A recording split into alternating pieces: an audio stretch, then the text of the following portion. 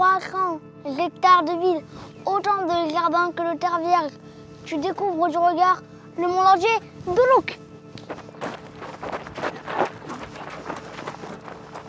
Regardez ce que votre bras montre.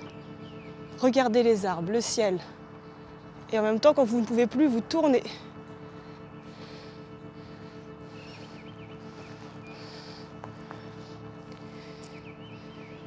Vous restez, fermez les yeux et essayez de re-ressentir un petit peu le balancement à l'intérieur de vous. Essayez de ressentir les autres, les arbres.